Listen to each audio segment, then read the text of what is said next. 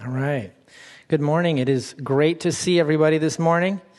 Uh, it's pretty cool when um, January 31st lands on a Sunday because what better way to spend the final hours of the year than worshiping Jesus, hearing his word, growing together. if you're visiting us today, we're glad to see you. It's always awesome to have neighbors and friends joining us for Sunday worship. Um, and especially a Sunday like this, where New Year's is obviously a very important time that causes us to pause, to reflect a little bit, to ask some questions about where we've been and where we're going. It's an important thing to consider, uh, something that everyone probably agrees, mostly even within the church, outside of the church, and the surrounding culture. New Year's is a time where people admit the importance of examining your life reflecting. Um, Socrates, one of the most important thinkers in history, says this line that we've heard maybe many times the unexamined life is not worth living. And I think it's a very profound and true statement. The unexamined life is not worth living. And as Christians, if you look at Christian history, the concept of self examination and evaluation has always been a very important piece of the Christian spiritual walk. We want to be the type of people who, as we are knowing God in His Word, as we are knowing God in His ways in the world, we are also knowing self. We're allowing God to shine His light into our hearts and help us to have clarity upon who we are, uh, clarity about what are our struggles, what are our needs. We were talking about it this week with my wife, and she brought up Jonathan Edwards as an example, which is uh, really an amazing example because Jonathan Edwards, who is one of history's, America's greatest thinkers and the church's greatest theologians, at age 17 compiled this list of resolutions where he realized as a 17 year old that he must be clear about what his convictions about life are if he is not going to let his life just pass him by. And he had one of, the, one of his resolutions said this resolved to guard against the least appearance of evil or suspicious circumstances, and to examine and inquire into the true state of my soul at least once every day, so that I may be able to discover my sins of ignorance as well as those of intention. So, as a 17 year old, he has this conviction, this awareness. He's saying, I don't want to be blind to what's going on in my heart, and I want to notice the things that I'm doing wrong, even if I'm not fully aware of them at first.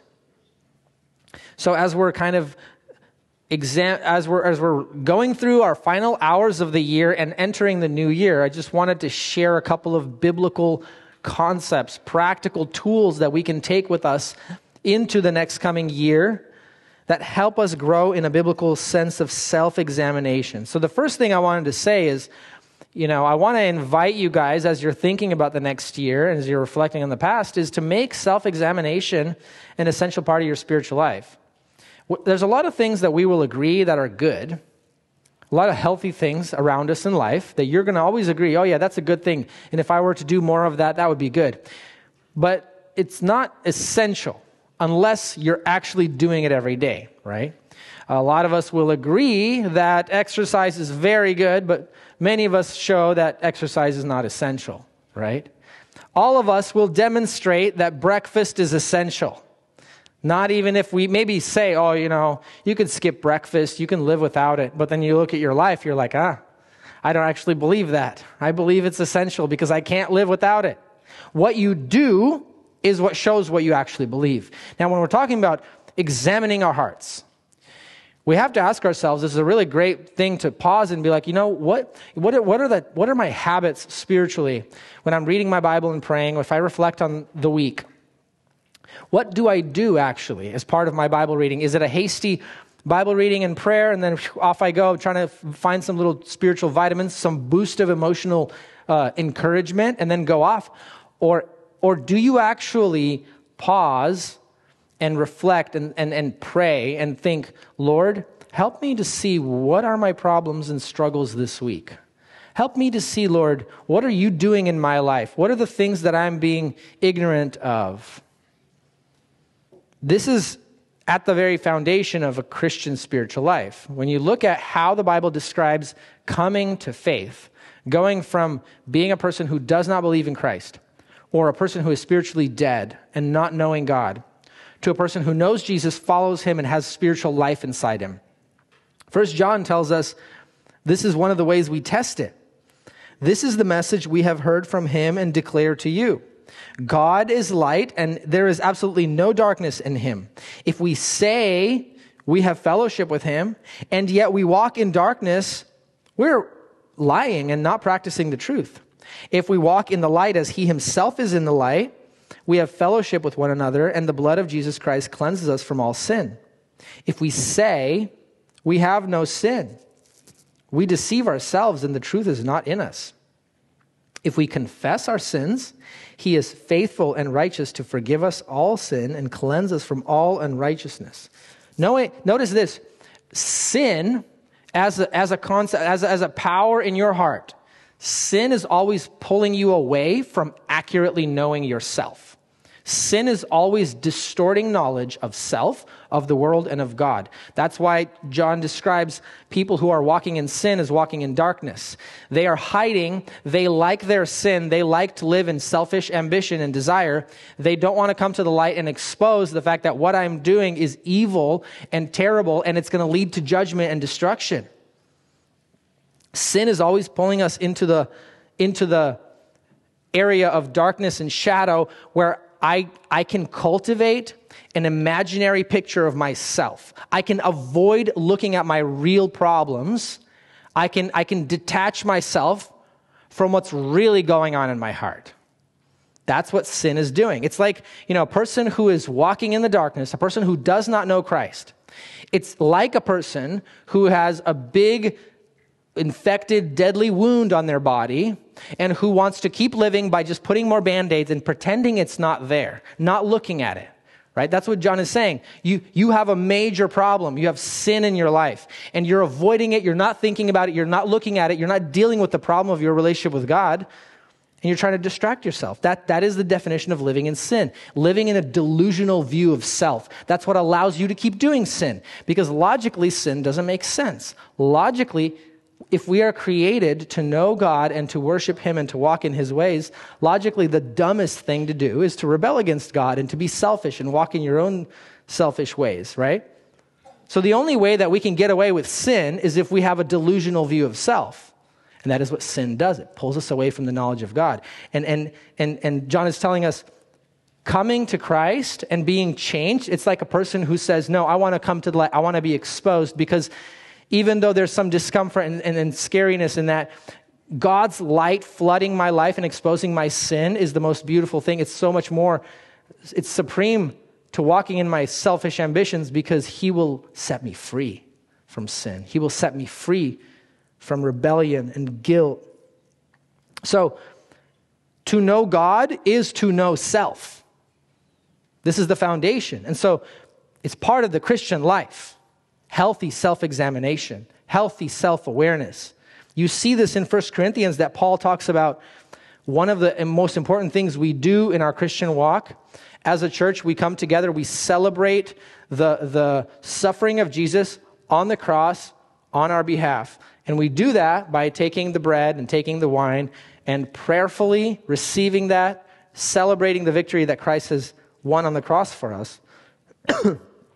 and, and Paul is saying, when you come to this activity, this practice that Christians have been practicing for 2,000 years, you have to approach it with a very careful self examination. Look what Paul says in 1 Corinthians. So then, whoever eats the bread or drinks the cup of the Lord in an unworthy manner will be guilty of sin against the body and blood of the Lord. Let a person examine himself. In this way, let him eat the bread and drink from the cup. For whoever eats and drinks without recognizing the body eats and drinks judgment on himself. This is why many of you are sick and ill among you, and many have fallen asleep. If we were properly judging ourselves, we would not be judged. But when we are judged by the Lord, we are disciplined so that we may not be condemned with the world. Notice he's saying, if we this the corinthian church had some problems that they that they had in the church and they were approaching the lord's supper with a neglectful heart. They were not examining their lives. And he said the, you guys are having struggles and some suffering and some pain in your life because you are living in sin. You're not examining your hearts. You're not examining the true state of your soul, and then you're, you're pretending to be Christians. You're acting like Christians. You're partaking in the Lord's Supper, and you are incurring God's judgment. This is a very scary thing. He says, You need to examine yourselves. You need to, you need to look at what's going on in your heart. Look what's going on in your life. And if you, he says, if we were properly judging ourselves, if we had a, a proper self evaluation going on before the Lord, if we were confessing our sins, if we were welcoming his work in our hearts, he says we would not be judged. We would not be going through such difficulties. But if we are neglectful, if we're living a Christian life that's unaware, naive, blind, then there's going to be difficult things and bad things happening in your life. Is the practice of self assessment essential to your spiritual life? Or do you distract yourself away from thinking about what is going on in your heart these days? What are the fears? What are the battles? What are the desires that you struggle with? This conviction filters down to just how you do your spiritual life, right? We, we may say, yeah, I do that and I value that. Um, Self evaluation, it's one of those things that you, you have to make time. So when you're reading your Bible and praying on a weekly basis, is there concrete time set aside for this, for saying what the psalmist says here, what, what when Acts read? Test me, Lord, and know me right? Is there time in your week that you regularly reflect on the sermon that you heard that Sunday?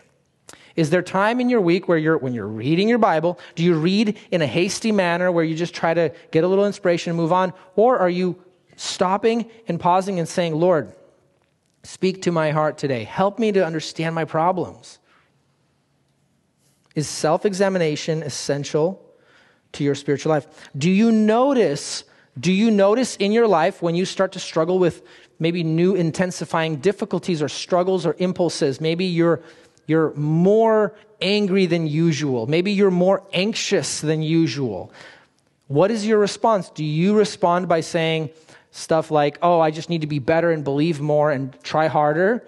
Or do you pause and think, huh, what, what's, what's been going on in my heart? Why, why have I been so anxious lately? What's, Lord, help me to understand. Why have I been so angry? Why have I been so irritable? Are there parts of your life that you're too afraid to think about? That's another question that kind of penetrates down. Is there honest self evaluation happening, or am I avoiding things? Am I too afraid to think about certain things? Number two, we must rely on God's word and His Spirit to empower your self examination. So, if we're talking about self examination being essential, we must rely on God's Word. Um, I remember this thing, I don't know if everybody's elementary school did this, but when I was growing up, our elementary school had the hall monitor program where certain distinguished fourth or fifth graders were allowed to wear a special vest and they given a clipboard and a pen and a stack of little papers called citations. And you get to walk around the hallways and you get to you get to police other kids who are running in the hall or breaking rules. And I remember that give it, that that that p- position giving me a sense of power. And and I remember certain kids writing many citations to many kids, you know, and then doing the same things that they wrote citations for. It's a funny it's a funny thing uh, it's kind of like the fox guarding the chicken coop. You know, it's, it's kids policing kids about breaking rules. We may have a similar concern when we're talking about, like, man, I'm called to evaluate my own heart and my problems. And, and I understand that I've made such big mistakes in my life. Um, I can't really trust my own thinking. You know, maybe you've had situations in your life where you've went with your judgment, trusted your judgment, trusted your intuition, and then it landed you into big problems and difficulties. And so you're kind of paralyzed by, you, you feel like you have problems and struggles in your life, but you don't know how to make sense of them because you don't really know how to go about untangling them. and you don't trust your own judgment and assessment. And that leaves you spinning your wheels, kind of stuck. Now, it is very true that our own thinking, our own heart, our own mind is flawed, right? We are broken by sin. That means that our judgment, our assessment is flawed. Jeremiah 17:9 says this very piercingly and clearly. Jeremiah says, "The heart is more deceitful than anything else and incurable. Who can understand it?" He's asking this question. He's saying, "The human heart when it is infected by sin, and it is skewed and twisted by selfishness and dishonesty and evil, makes that heart untrustworthy and complex and hopeless. It is more deceitful than anything else. We are not capable of discerning our own hearts. We don't have that power. Now, some people struggle with maybe the opposite tendency. Some people are paralyzed by not trusting their own assessment. Other people, and I think a lot of us more fall into this category where we're, we're way too confident about our own judgment. We, we, we think we can understand everything about ourselves. If we see a problem in our life and we think, oh, yeah, this is why I have this struggle, this and this and this, and I understand, and, and that's it, and that's the end of it. it we, we have this big trust in our own self assessment. And we pat ourselves on the back thinking, I'm an honest person, and I admit my problems, and I know what my solutions are. But I think what the prophet says here must land deeper in our hearts. He says, the heart is more deceitful than anything else. Have you ever been hit with this realization that your heart is deceitful, that your heart is capable of self deception? That we're so sinful and, and untrustworthy that, that if, our, if we're left to our own devices, our own selfish ambitions will lie to ourselves and we believe our own lies. Has it ever landed in your heart like this, this realization, like, man, I'm a pretty selfish person and, and my own heart lies to me. I can't untangle my own messes. I will believe my own lies. This is why the prophet says, the heart is more deceitful than anything else and incurable. Who can understand it? The following verse I, the Lord, examine the mind. I test the heart, and I give to each according to his ways, according to what his actions deserve. Notice the answer that God gives is yeah, your heart is really wicked and twisted, but I, the Lord, I, your creator, I examine your heart and I can speak into your heart and to your life. I can tell you the truth about who you are. This is where theologians will talk about the miracle of revelation. This idea that the creator of the universe who made us, he made us with purpose and he communicates to us in a way that is understandable to us. A lot of people today like to like to say, yeah, there's a creator, there's a force, there's a, there's some sort of being, higher power, but but the assumption is, oh, we're just down here, little finite people. The idea of us actually knowing this creator and accurately receiving anything from that creator is impossible. We can just live our own lives. Now, it sounds very lofty and humble. It's like, oh, wow, yeah, we're so, we're so dumb. We can't even know God's great thoughts. But masquerading under that is this desire that says, I can't understand God's ways, therefore I can do whatever I want.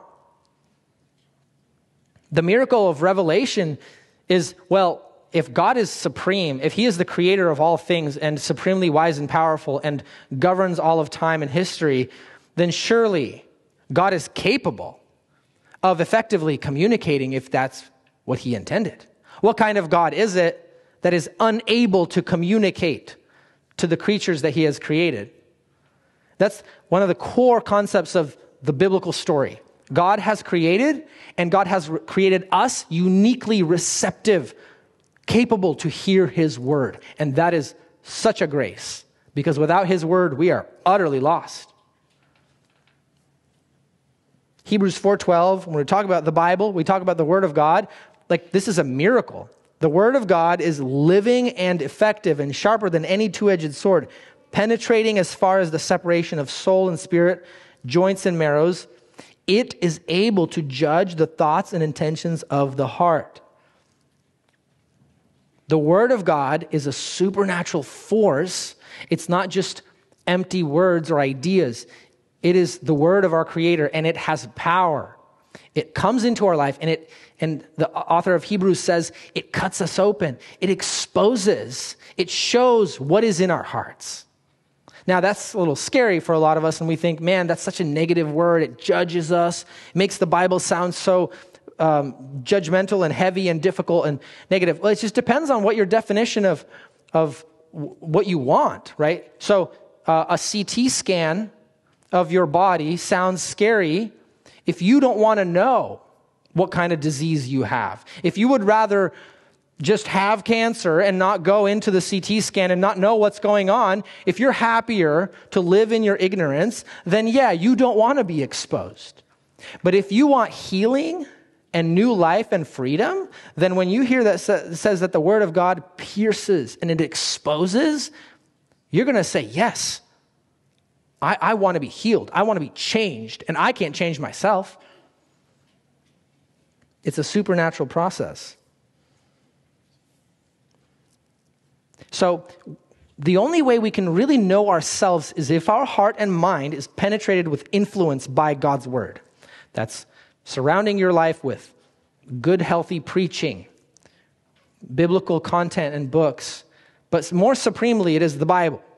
If you want to know yourself and if you do not want to live self deceived, you must cling to the Word of God.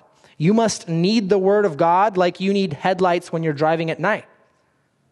We must have this feeling like, man, you know, we, we get into our little religious like ideals where we think, oh man, I haven't read my Bible for five days. I feel guilty. I need to be a better Christian and do this. Then I'll feel better about myself. That, that's not how our mind should think. We should think, man, I haven't read my Bible for, for five days. I, I feel like I'm flying blind. I, I need God's word. I need to go to God's word. I need to stop what I'm doing. I need to spend some time reading praying, reflecting, and asking God to work in my heart. Because without this, I'm, I'm flying blind. I can't know myself. I can't understand my life. I can't trust myself if there is not a supernatural influence of God's word which comes into my heart and turns the light on. It straightens what is crooked, gives me the ability to think about my life and to understand. Without God's word in your life, you are flying blind. And if you don't, ha- if you don't long to read the Bible, then you don't realize you're flying blind. You think you're fine. That's the truth. You're okay with being self deceived and deluded. But that's dangerous. What is your posture to the Word of God? Do you open this book just to get a little bit of inspiration? Or do you open this book and say, Lord, talk to me? I want to read, I want to understand this truth so that it could help me understand my own heart. What is your posture to church, to, to listening to sermons? Do you listen to sermons and Christian content because you're just trying to get distracted from your life? Or are you listening with that humble posture that the psalmist says, Lord, search me and know me, test me and know my anxious thoughts, and see if eh, there's any offensive way in me? That's literally the prayer you can pray every time you sit down to read the Bible. Lord, search me and know me. Help me to see. You must rely on God and His Word and His Spirit. Number three, we must allow Christian community and church community to help us see our blind spots in our self examination.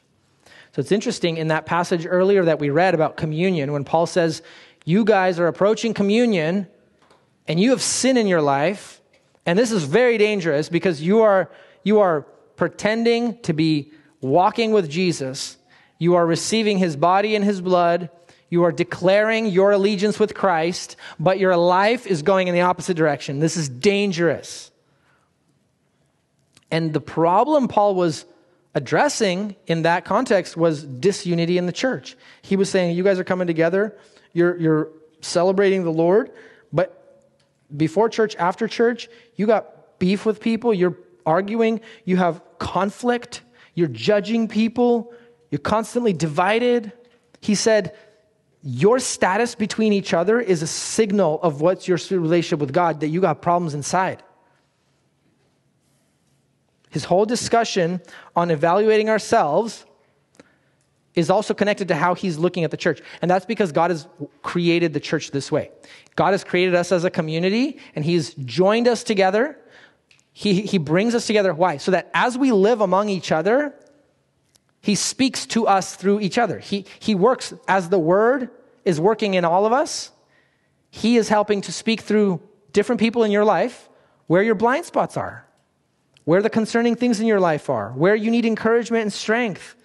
God has interconnected Christian life like that. He says that, Paul says this very clearly in Ephesians 4, where he's describing the whole spiritual growth and process, and he says this, Ephesians 4:15. But speaking truth in love, let us grow in every way into him who is the head, into Christ. From him the whole body fitted and knit together by every supporting ligament, promotes the growth of the body for building itself up in love by the proper working of each individual part. So notice he says Christian spiritual growth, it's like a it's like a body that's all joined and knit together. And you're, you're growing spiritually when you are all living in community and tightly interconnected with trusting, deep relationships, and you're speaking truth to each other. And that truth is changing you guys, and you're all growing. That is the whole process of spiritual growth. So, a simple way to ask to test yourself, are you growing spiritually? One simple test is not to say, oh, I read my Bible more and I pray more and I go to church more. No, I would say this. Are you more effective and fruitful in helping others grow in Jesus? Are people around you more impacted by your spiritual life than they were last year? That's a very easy way to test our spiritual growth because it's visible, right? As, as for fathers in the home, that's your front lines. You're spiritually ministering in your home. Are you more effective to speaking the truth to your kids, to your wife, being a model, being an example, being a source of grace, guidance, wisdom, patience? Are people around you more encouraged to follow Jesus? or less. That's a really clear way to, to see if we're growing spiritually. What are my biggest blind spots? How can I know my blind spots? Well, they're blind to you, right? So the only way you can know them is if you have trusting, deep relationships with, with godly Christians. Trusting deep relationship with godly Christians. This is probably one of the most important things in our life. Godly, spirit filled Christians. Now, that's an important category because, unfortunately, the church is not perfect, right? There's a lot of people in the church who are not very godly, not spirit filled. They're not walking in the truth. Maybe there's, there's inconsistencies in their life. Maybe there's sins that they're hiding in their lives, right? I, we don't know. But we all have this sense. There's certain people in your life, you have a sense. You look at their life, you're like, man, this person is real. Like, they're walking with Jesus. They're not trying to make a show of it. They're, they're honest about their sin, their weakness. They're, they're growing spiritually. They're delighting in God's word. Every time I'm around this person, I'm encouraged, I'm empowered to grow in Christ. Those kind of people, those are the people we should be valuing more than anything else in our life. We should, we should want to think, we should want to know what they think about us.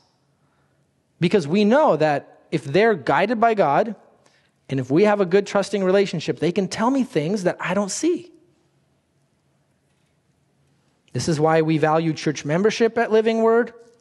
Church membership is so important because not because we're trying to keep people on lists and control people, but because uh, a lot of people want to have this Christianity where they come to church, they sing the songs, they get a little inspiration, they go back to their life. They don't want nobody to touch them. They don't want to belong to anybody. They don't want Christianity to cost them anything. They just want to do their own thing. That's not Christianity. This is why we try to structure the life of our church in a way that promotes genuine trusting relationships to grow. That's why we have small groups. That's why we do all these things so that we can grow in community. But you can have all these things around you promoting you to grow spiritually, grow in relationships with people, but you're not growing in relationships with people because you're not taking that step to pursue godly people in your life, to spend time, listen, be humble enough to hear, to value them, to serve people, to love people, give away your time and energy. Your church community will aid you in your self examination. Now, notice what I'm not saying. I'm not saying we need to be running around telling everybody what they're doing wrong, right? That's not what we're saying. I'm saying from your perspective, you should seek people. You should value it. Right? If you're not seeking it, people won't tell you things unless it's very clear, glaring major sin issues that need to be dealt with with pastors. But if you aren't seeking it, people are not going to come to you, hey man, like I just want to tell you there's some struggles in your life that I'm going to speak to you. Like that's that's not how relationships work. There's a natural way that trust grows and truth is spoken. And it's also very dangerous for us if you have a if you have a habit of blocking people out if you have a habit, if you see there's a trend of different kinds of people telling you things that, hey, this is really concerning, like you should, this thing in your life, and you just block people out, and you have a bunch of experiences where people have told you things in your life are not healthy, and you just block them out and you keep moving, you got to realize that that's dangerous because God speaks through his church. Speaking truth in love, we grow up into him who is the head, into Christ. That's literally the whole Christian life speaking truth in love. That's how we grow. So you need to, you need to allow the church to fuel, to strengthen your self examination. And finally, the fourth point, as we're approaching the end of this year, is um, healthy biblical self examination. It must lead to somewhere more than just self examination, it must lead to repentance and change. The whole purpose of the psalmist inviting God into his heart in Psalm 139 is change, right? He says, Search me and know my heart, O God, and test my concerns.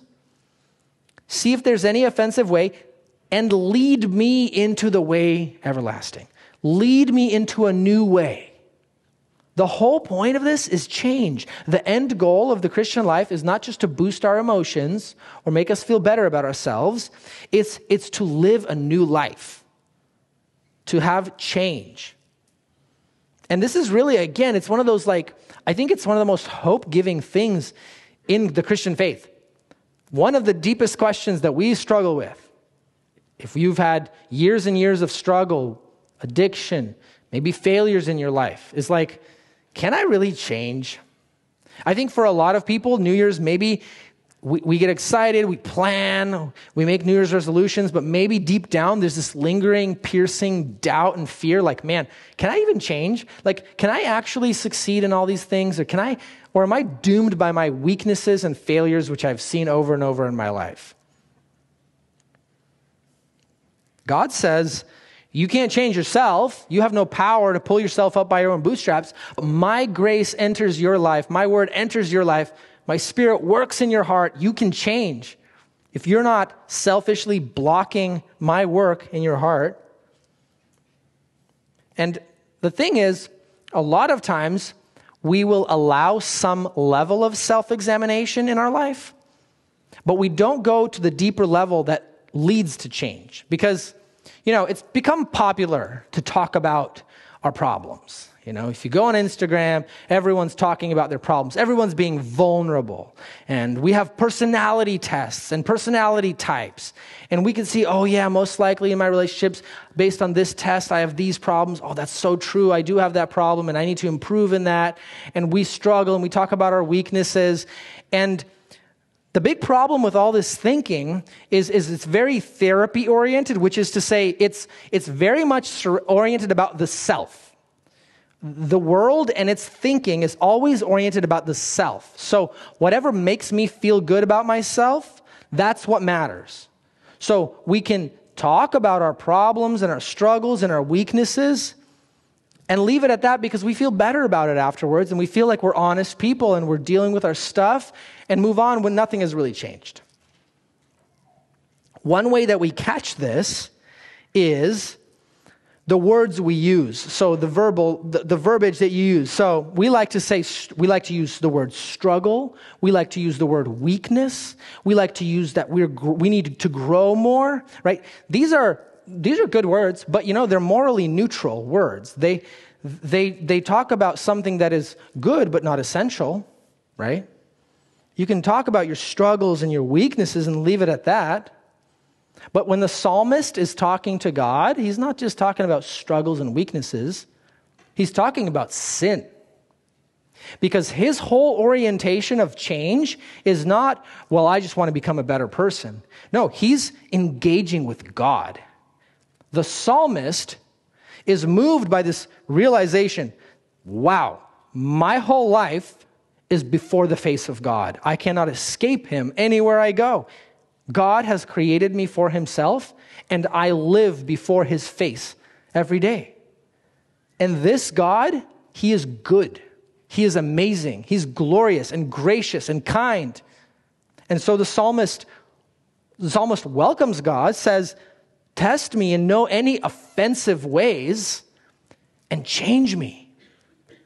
He's welcoming God. And he's calling sin, sin. And he's calling it an offense against God. And he's seeking true repentance.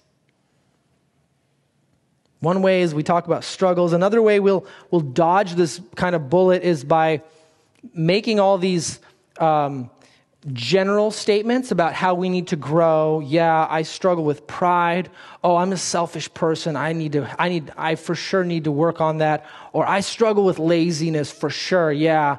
Like we, we feel honest. We feel that that's real. You know, at the end of the day, though, you said nothing because you just put a big old band aid label but you've never actually gone to the depth of, okay, but like, how exactly is laziness infecting my life? And what are the sinful effects of that? And how do I really need to change? Right? We're not doing any of that if we're just doing these general labels. We like to be broad and we like to hide under the broad labels because, let's be honest, real change is really complicated if you're struggling with a relational issue, if you're struggling with tension in your life, in your marriage, in your family, uh, with yourself, about your sinful habits, if you start to really look and say, man, why do I struggle with these things? And you start to think, man, what does change actually look like in this area of my life? You start to realize that it's complicated. It's really complicated. It's slow. We're slow to change. It takes a lot of work. It takes a lot of work of thinking, man, if I'm constantly getting into arguments with my wife over this issue, why is that happening? Well, let's think about it.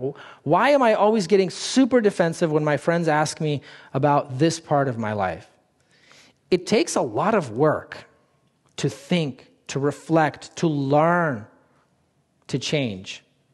And we like to dodge all of that by by putting on this label that says, oh, yeah, I struggle. I'm, pr- I'm a prideful person. I need God's grace.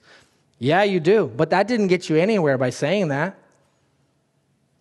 Real self examination, it leads to repentance. And repentance is always specific. That's why the psalmist is saying, there's problems in my heart that I'm not fully aware of, Lord, and I want you to examine me. I want you to test me, and I want you to expose these problems and I want you to help me change in these areas. He's involving God in a complicated process of change.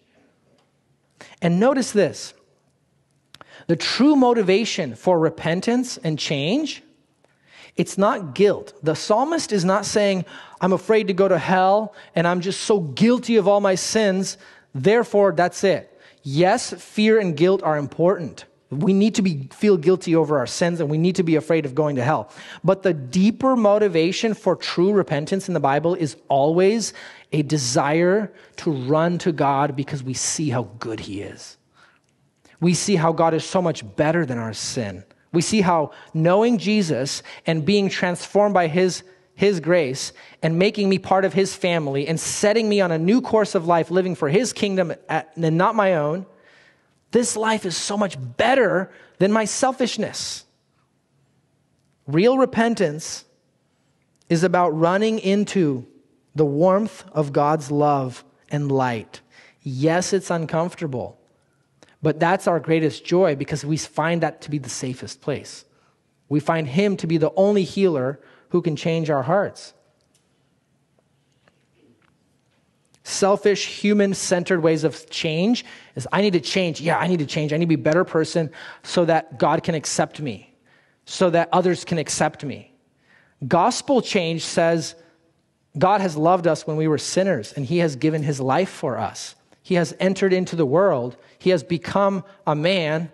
He has taken all the burdens of our sinfulness, and he has, though he has lived a perfect life, he has stood before God to face all of judgment in our place, to wash our record clean. That's what Jesus did. When we understand that, we, we have this desire with the psalmist to invite God and say, Wow, you are so good. You are so much better than my sinful ways. Lord, teach me, know me, examine my heart. I'm not afraid of you exposing me because you love me and you're so much better than anything I could dream for myself. This leads to clear confession of sin. Confession of sin says, look, it's specific. I'm struggling with anger and pride and selfishness because I very much prize my quiet downtime in the evening. I want to be on the couch. Nobody is to bother me. And I'm selfish about that. Lord, help me. I want to confess that selfishness. That's wrong. It's toxic. It's destroying my family. Lord, teach me to be a giving, loving person in my family at that time. Teach me to be, my heart to be full of the love that you've given me. Help me to cut out that sin and walk in your ways, walk in your light. It's specific. Real repentance is specific. And it's turning away from old ways, turning to God, welcoming his ways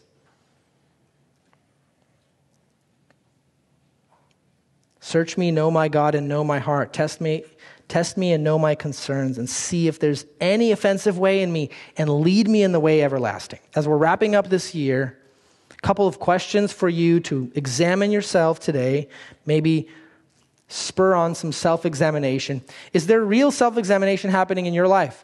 Do you generally just kind of run through life, lots of distractions, lots of things going on, a lot of noise, helping you tune out your inner problems? Are you that kind of person? Do you rely on God's word and the work of the Spirit in your life to expose your heart in new ways? Do you trust your own assessment?